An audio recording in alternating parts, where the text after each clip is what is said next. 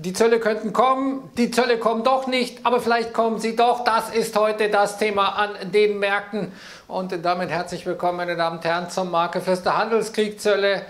Äh, immer das Gleiche. Man könnte das vielleicht in diesem Bild hier mal veranschaulichen. Hier sehen wir einen Esel, der hinter einer Karotte herrennt. Und so ist es äh, bei den Investoren heute auch. Zunächst mal ein Abverkauf, vor allem beim DAX, der auf den tiefsten Stand seit Anfang November gefallen ist, weil man sich gesagt hat, hm, die Amerikaner, die sind jetzt äh, offenkundig mit der USMCA beschäftigt, also diesem Deal zwischen den USA, Kanada und äh, Mexiko. Lighthizer ist nach Mexiko gereist. Ja, wann sollen sie denn dann äh, letztendlich äh, diesen Deal mit China zu Ende bringen? Da hat sich dann die Meinung durchgesetzt, na, das wird nichts mehr mit dem Deal und die Zeit wird jetzt äh, langsam knapp. Die Deadline ist äh, Samstagnacht auf äh, Sonntag. Wenn die Zölle kommen, dann schaut es finster aus. Dann ist all das, was eingepreist ist, möglicherweise wieder auszupreisen. Das war sozusagen das Thema des heutigen Vormittags. Der DAX, wie gesagt, doch stark unter Druck. Aber dann kam ein, ähm, zunächst mal die Aussage von Wilbur Ross, der gesagt hat, naja, die USA, die ist,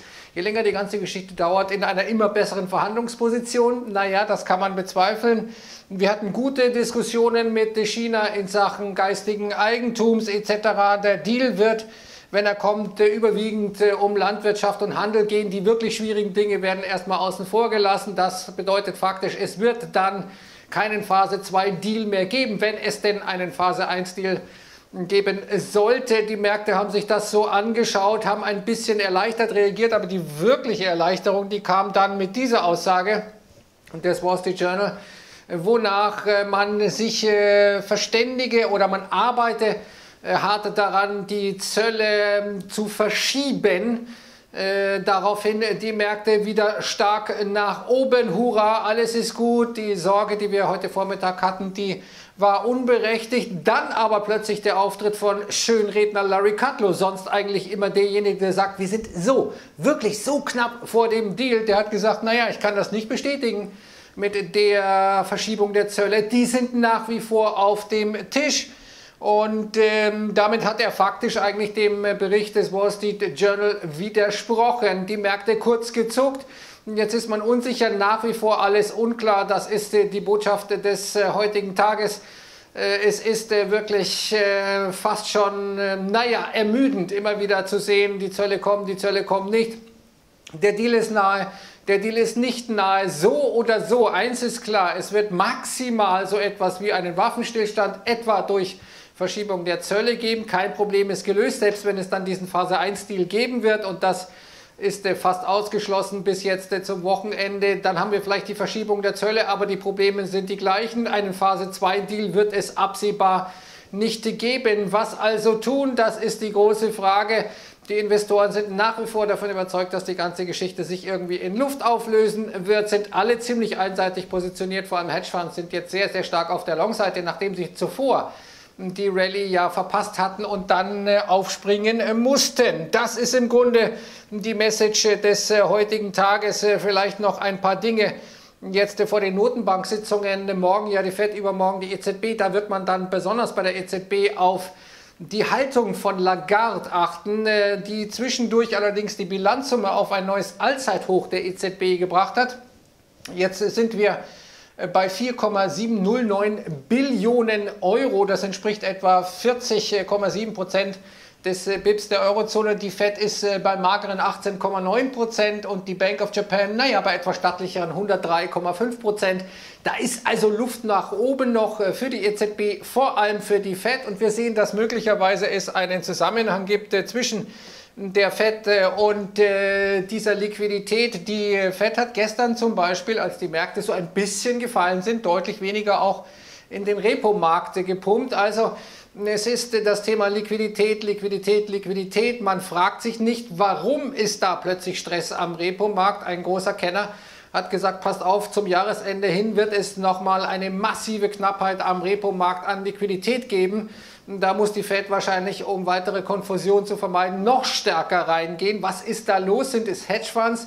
Die überhebelt sind, die sich da verzockt haben ein Stück weit, die praktisch Staatsanleihen gekauft haben, die hinterlegt haben als Repo-Sicherheit, dafür Cash bekommen haben, dafür wieder neue Staatsanleihen gekauft haben, die wiederum hinterlegt haben, dann mit Arbitragegeschäften zwischen den Cashmärkten und Derivaten versucht haben, da schmale Margen rauszuziehen. Ein äh, Geschäft, das so lange gut geht, bis es irgendwann nicht mehr gut geht. Und am 16. September ist es nicht mehr gut gegangen. Da musste die FED dann intervenieren, denn sonst hätten wir so etwas wie LTCM, dieser Hedgefonds, der damals Ende der 90er Jahre in Schieflage geriet und ähm, dann äh, Konfusion an den Märkten ausgelöst hat. Das ist sozusagen das Risiko, das möglicherweise in den Märkten ist, das aber noch nicht so wirklich klar ist, das nicht wirklich erkennbar ist, der schwarze Schwan möglicherweise. Schauen wir uns mal die Entwicklung der Kurse an. Was wir hier sehen, das ist der DAX. Hier sehen wir diesen starken Abverkauf. Die Charts, meine Damen und Herren, ich vergaß es vorhin zu erwähnen, die sind von Capital.com und die zeigen,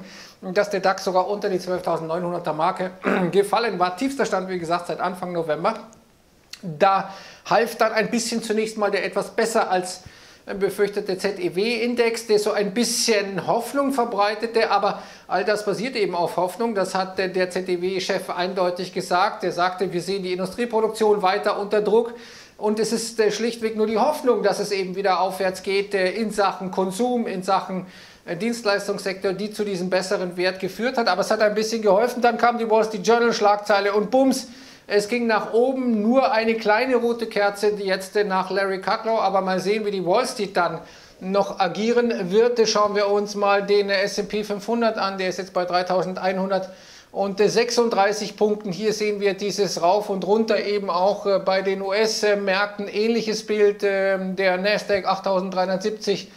Äh, Dow Jones jetzt äh, bei 27.900 Punkten. Also es bleibt diese Nervosität im Markt. Es bleibt so lange nervös, bis Klarheit herrscht. Werden jetzt zumindest die Zölle verschoben? Wenn sie verschoben werden, gibt es dann eine Rallye oder gibt es dann Gewinnmitnahmen Buy the rumor, sell the fact. Auch das ist noch offen. Die Bullen sagen, es wird auf jeden Fall dann eine neue Aufwärtsbewegung geben. Andere sagen, naja, das ist ja dann sozusagen das, was die Märkte erhofft hatten, dann können wir auch verkaufen. Das werden wir sehen. Schauen wir uns mal den Euro an.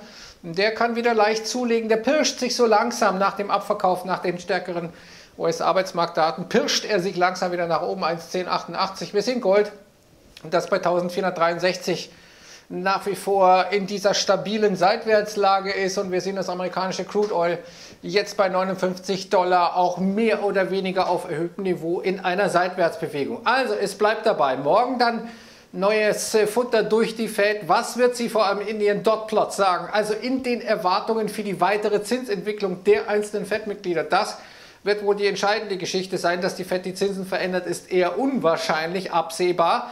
Man hat ja gesagt, wir werden erstmal die Füße stillhalten. Jetzt kamen die stärkeren Arbeitsmarktdaten am Freitag, aber wir hatten zuvor noch relativ schwache ISM-Daten. Naja, das Bild ist nicht so ganz klar auch äh, für die amerikanische Notenbank und am Donnerstag Spannung dann durch den ersten Auftritt von Lagarde. Wird sie da schwimmen, weil sie sachlich, fachlich schlichtweg nicht den Dingen gewachsen ist? Wie kann sie auch? Sie ist Juristin, sie ist Politikerin jetzt, als sie plötzlich ähm, interne Dinge wissen, kennen die normalerweise nur eingeweihte, jahrelang geübte Notenbanker auf der Latte haben. Das wird schon eine heiße Geschichte. Dann die Wahlen in UK und dann am Freitag sozusagen der letzte Termin, wo dann eigentlich klar werden müsste, wie ist es jetzt mit den Zöllen. Das ist die Situation. Ich wünsche einen wunderbaren Feierabend und sage Servus und